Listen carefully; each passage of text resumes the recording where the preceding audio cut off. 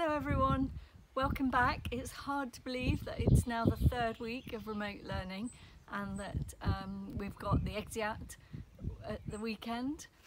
I've continued to hear loads of really great stories and it was brilliant last week that I was able to drop in on a couple of lessons. Um, I saw a really entertaining cookery lesson with Mr Harris which went down very well indeed.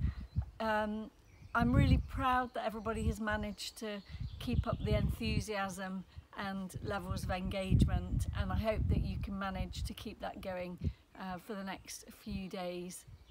As I said, it's the exeat um, and we've got an extended one for the VE Day celebration. So uh, we finish at four o'clock on Thursday and I'm sure everyone will be pleased about that.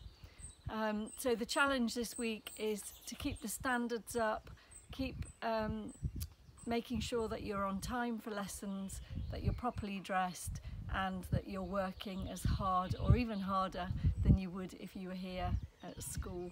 So that's all from me for this week. I hope to see you if I pop into some more lessons and I look forward um, to being back in touch again next week. Thanks everyone.